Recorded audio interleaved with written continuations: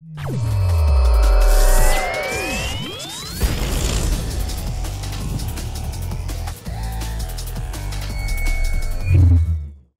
guys and welcome to a new video. Today, start of flex build number 3. So basically all good things are 3, right? And since these uh, flex builds or flex guides uh, that I brought already, like the Gladiator, now the Wander, and this one would be or is or will be basically Number three, um, the problem is these builds are so intense in terms of crafting, in, in terms of path of building, like putting everything um, as close to perfection as possible. Um, they take quite longer to create, right? Like usually, uh, like the other leagues, like every two or three days, uh, I'm like making a new build, right? And one day is just leveling, second day is like gearing, crafting, and third day is like playing the actual build, and then I just release the video and go on with the next build. The problem in Harvest League with my kind of OCD getting everything six times T1 perfect, it just takes a lot more time and a lot more currency uh, to make these builds, right? So therefore, um, this time around, I'm going to make a build series, a build, yeah, build diary basically. How we're gonna get everything um, together on this build, how I crafted certain pieces, what was the, the ways of thinking, how much did I spend for several items, and then just have the overall product at the end once I'm done with the flex build number three, basically, right?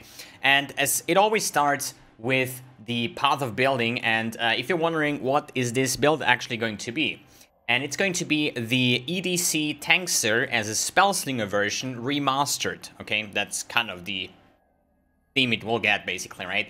So an essence drain character. It's going to be a trickster. It's going to have multiple like all kinds of um, defensive mechanics that i'm uh, was actually thinking about like stun immunity ailment immunity curse immunity.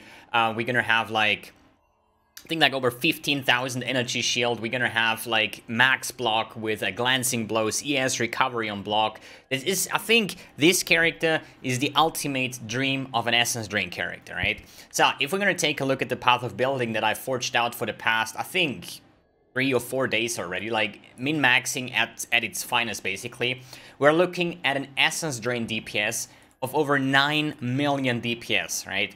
The thing is, my last Essence Drain with a bow, like to get the highest level of Essence Drain was like two, two and a half million, right? With like good gear. Uh, my Essence Drain Spellslinger last league, the Chaos Slinger, did had I think like 800,000 DPS, right? This build is going to have 9 million DPS as a Spellslinger version. And if I would say like I don't want to use Spellslinger, I would actually want to self-cast, then it would actually swap out the um, Spellslinger to Empower, which give, uh, makes me almost to like 11 million DPS on an Essence Drain character, right? But since I love my one-button builds, I decided to go with a Spellslinger in this version. So what other stats do we have? We reached over 15,000 Energy Shield, or at least like, this is the planning point of view, right? This is what I want to do, this is what I plan to do, and at the moment the character doesn't even exist, okay? So I need to level up, I need to get everything going, and I'm, i will document it as far as, or as good as I uh, can, basically. And on top of that, uh, I'm going to make a, a list here, playing some Path of Excel, more or less, right? Writing down every single item, which the amount that I spend on it to have an overall, uh, like an overview how much is my character worth at the moment? How much did I pay for the gems? The, uh, how much? How many mirrors is this build worth? Because looking at this now is probably, I would say, somewhere 10 mirror, if not more, right? So it's going to be hilariously expensive to get this character going. Um, but in the end, I hope it's going to turn out like the sickest of sick chaos dot builds that ever existed. Because uh, in in the um, like the options that we have in in Harvest League, right? I don't I think this character will turn out better than most standard characters even, just because we can min-max a build to the ultimate extreme. And this is basically what I'm trying to do with this build, and it's probably going to take a week or so to get everything going. If we take a look at the items and like one voices, for example, like 400x, like the class, uh, the um, that I plan to use, I think, sorry, is like two mirrors or something. Um, we're gonna have max block, we're gonna have ailment immunity, the mana reservation, like all of that stuff to uh, reserve Zealotry, Malevolence, like all kinds of stuff. The other cluster jewels that are just capping my Chaos Res, and this one over here, which is the most or hardest thing to craft, and I actually need five of those, right? it sounds kind of hilarious on what this build is all about in terms of the items, and that's why I say it's going to be hilariously expensive. So if you want to go over the items that I plan to use, right, these items are just Path of Building items, right?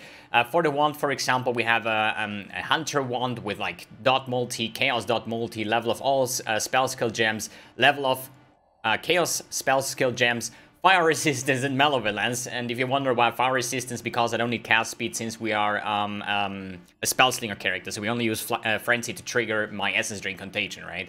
Uh, for the shield, it's going to be um, mana reservation, chance to block spell damage, double ES, chaos uh, spell skill gems, and recovery ES unblock, the same way as we did on the uh, previous versions. Then we have the helmet, which is basically a triple T1 energy shield with mana reservation and minus chaos resistance with crafted ailment immunity as well as the spellslinger mana reservation. Uh, then we're gonna have a shafts with plus four for the actual um, essence drain. Then we're gonna have some um, essence crafted like the socketed gems. I think it was like uh, delirium or essence of delirium or something like any one of these um, essences will give me the 30% damage over time multiplier, double ES, damage over time from the warlord, then chaos dot multi as the suffix and the crafted ailment immunity, for the boots, they are pretty easy actually. There's like double T1 ES with movement speed, double res, and a chance to avoid elemental ailment, which comes from Shaper. For the amulet, that is going to be hard, which is Chaos.multi, max ES, Chaos skill gems, Malevolence, Mana Reservation, plus one of Intelligence skill gems, and aspect of the Spider. Uh, the rings should be quite easy. They're just essence crafted uh, Crusader rings with a spell damage, double ES, uh, double res, and like essence craft for chaos damage, right? Uh, belt Nothing too special, triple ES, double res, and reduced damage from critical strikes, which I think is like another layer of defense, which I pretty much like. And, and then we have shit tons of cluster jewels, and this is going to be the hardest part of the build, um, next to like crafting those items, right? So the hardest part actually are these small cluster jewels. And today um, I finished already like two of those. So uh, if you wonder like, um, you you only have 60x on stash. Like how you how will you ever be um be able to afford a build like that? It costs like 10 mirrors, right? I already started it, but I still want to make a, um, a build diary through it. Um, so I go like maybe every day or every second day or something where I'm just posting the, or at least like go over the items that I crafted and how did I craft them, as well as how much did I spend to get those, right?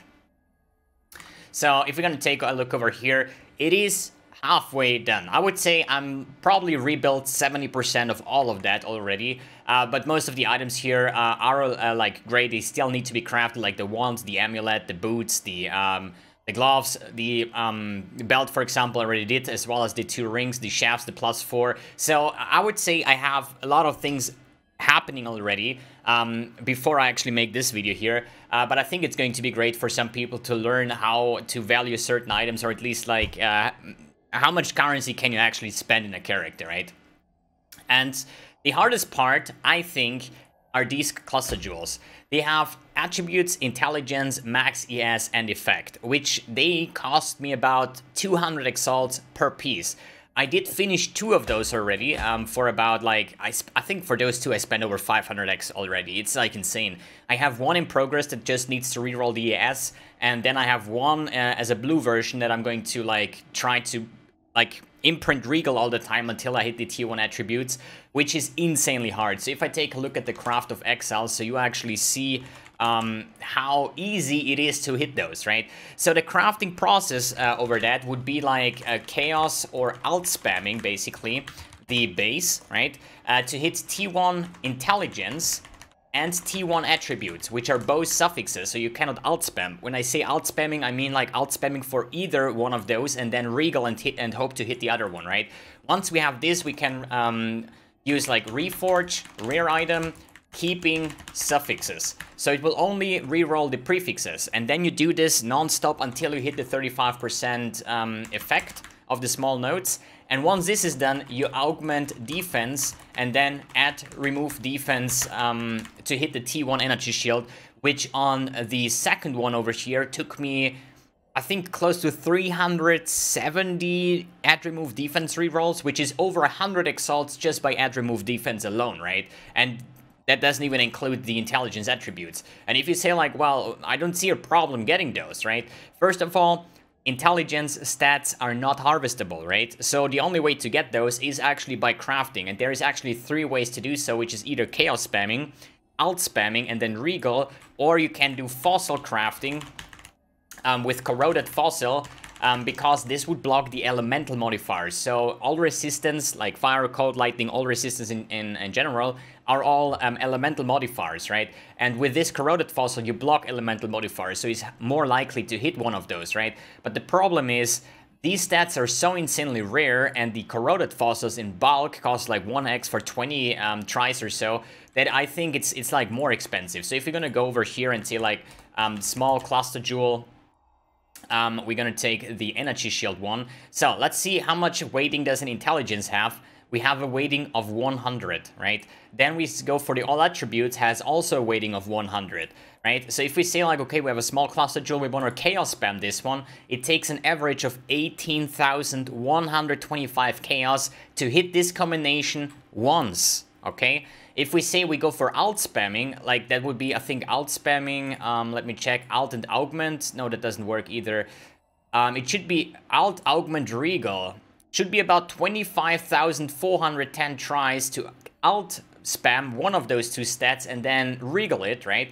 Um, so it's going to be insanely expensive. We talk about over 100x which each, uh, each method just to get this one going. And I'm not talking about re-rolling the effect or the remove a defense to finish it off, right?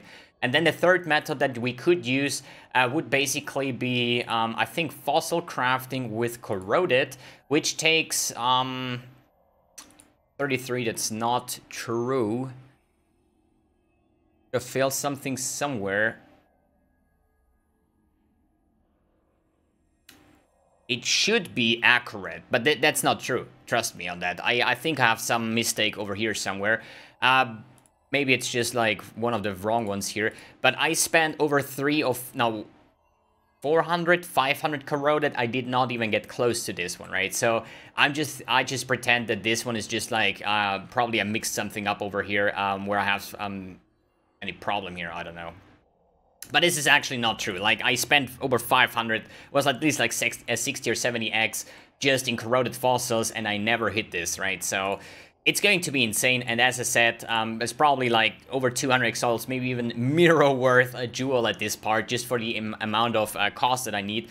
And I need like five of those, right? I have like two done, one is in progress, and the other two I still need to chaos spam. I'm over like 50,000 alterations down. It's like, these jewels are like the last part I need to attempt to do, right? But yeah, overall, I think this build with like 9 million dot DPS, uh, 15,000 ES, max block, we have 54% evasion, we are um, like stun immune, we are block, uh, like um, ailment immune, we have like um, a curse immune flask, right?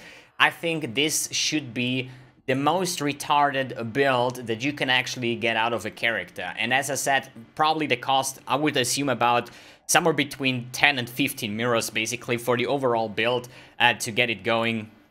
And that's that's definitely worth a flex guide number three, but this time around as a build guide, um, basic or a build guide like uh, um, a, build diary where you see what items do I get um, and how did I make those and what did they cost me basically to create. And once everything here is filled up, then we're gonna have an average cost of the character, so you have an idea on. Uh, how this character would actually be worth um, if I would sell it, basically, right? Good. I would say that's enough for part number one. You know what's going on now. You know what I've uh, what I'm working on or start working on now. So I would say exit character, create a new character, and let's get the trickster going because I'm looking so forward to this one. As I said, the last EDC Tankster was a big success. This, the Chaos Slinger was a big success. This one combines both and has like 10 times more DPS than all the others and way more tanky. And I think this build is going like either it's going to be the best and in most insane build ever, or I'm just gonna completely run out of currency before the build is actually done, which can actually happen at some point. Alright guys, thanks for tuning in, thanks for watching, and see you on the next video.